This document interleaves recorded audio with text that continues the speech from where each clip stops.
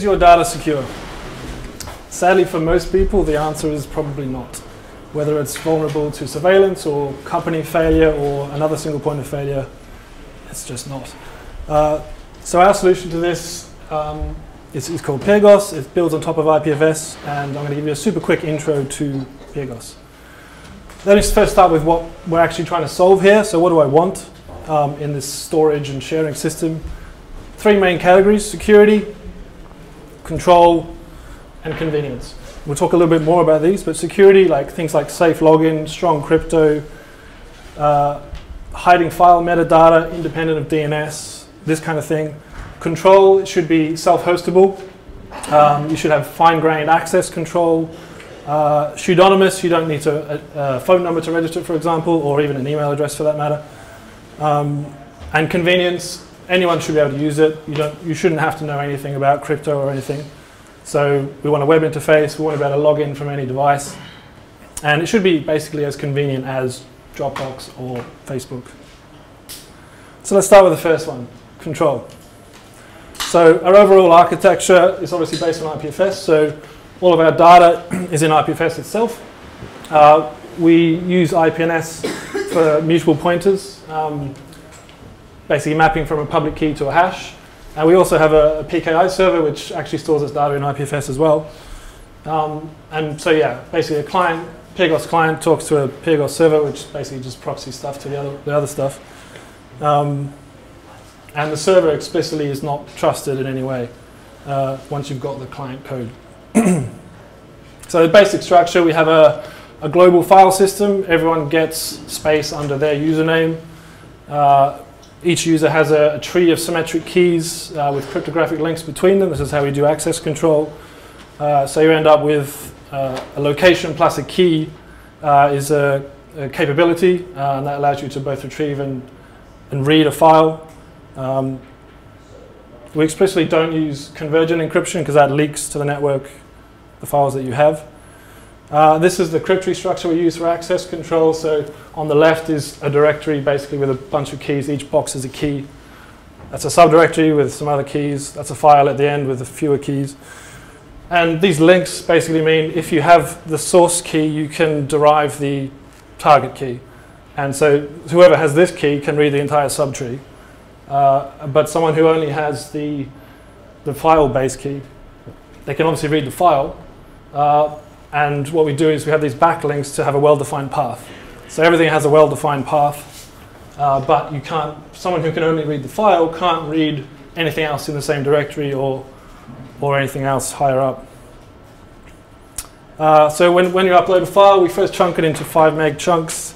Each uh, 5 meg is independently encrypted split them into fragments. Each of those we uh, put in IPFS, and those are then Merkle linked from uh, the encrypted metadata for whatever that is, the, the file fragment. And then the encrypted metadata itself, we put in the, another nice data structure uh, in IPLD as well.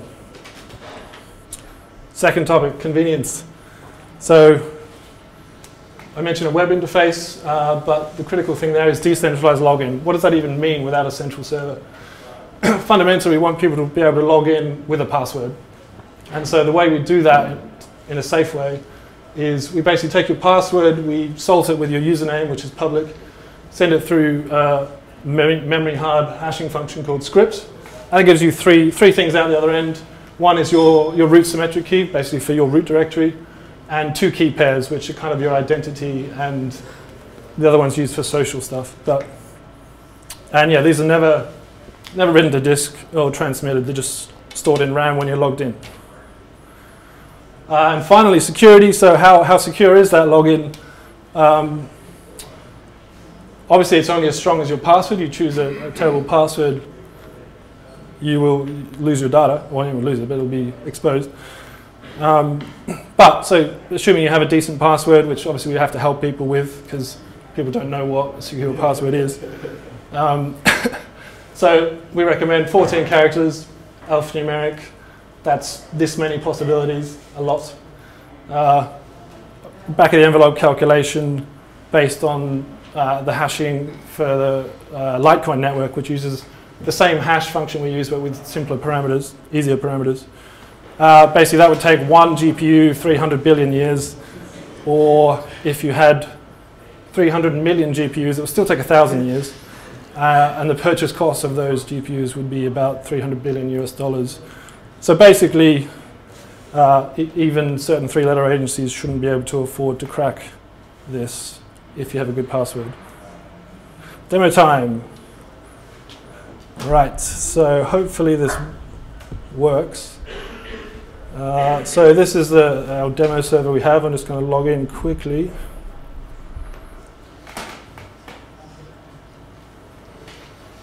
See all this? Yep.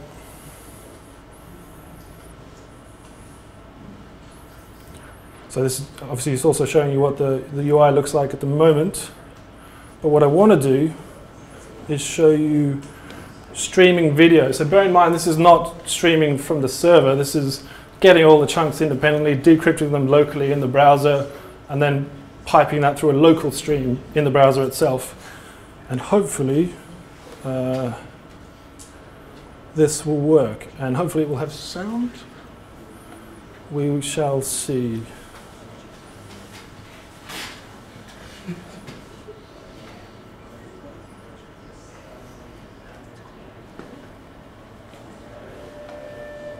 I don't think the sound's going through, but you can you can hear it.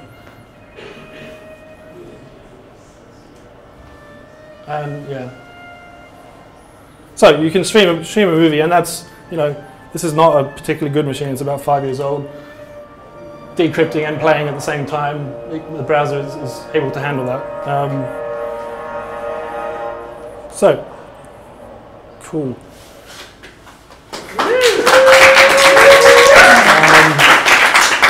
If you want to, I can quickly show you the social side. So, well, indeed, other, the whole process, signing up. See, I've warned myself that's a terrible password. Um, so let's sign up with Alice um, and Bob as well. So we can do something else. If I try a password like password, then it tells us that's actually the most common password. Uh, or um, or I could say, and obviously without leaking that to the server. Uh, what am I doing? One, two, three, four, five, six is the second most common password. Um, but correct horse battery stable. Say what? Correct horse battery stable. Uh, is that in the top 10,000? That we only have your password. All right. correct horse. It's a good one. It's not in the top 10,000. but anyway. Special case that because it's common knowledge password. Uh, right, so are these the same? Uh, right, so we've signed up Alice, hopefully. Yep. Um, we don't have any files yet. Uh, Bob is signing up. Rightio. First things first, let's friend Alice.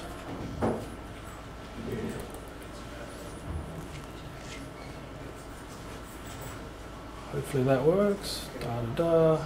If we go now back to Alice, we've got a friend request. We can accept that and reciprocate, which makes it bidirectional.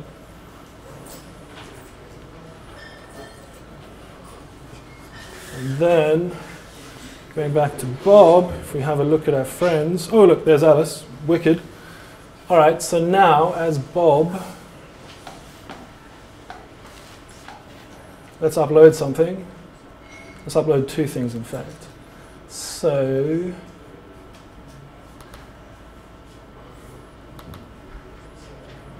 here's one image. We can upload that. Let's do another one.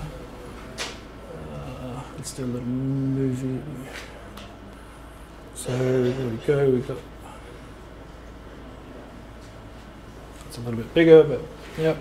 All right, so now this guy, let's share that with Alice. Eventually, you won't have to type the name explicitly here, but yeah. Sharing complete. So now, if we go back to Alice, and so no, now we can see Bob in the top level.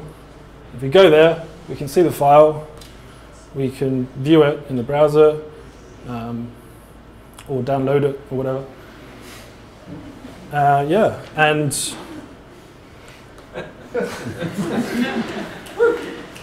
the only other cool thing you can do is public links, and that basically puts the capability thing I mentioned at the beginning into the link itself. Other people have talked about similar things. Uh, and so if we open this in another tab,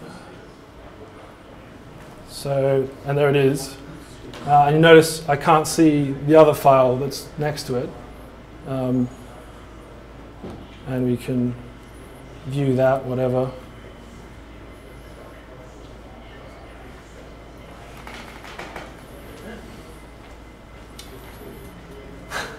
There we go. Cool. So that's pretty much it. Uh, yeah. So check us out. Um, we don't have. We're not live yet, so we only have a demo server. But yeah, uh, one of us is also in the audience, Kevin. Um, so have a talk to us afterwards. Any questions?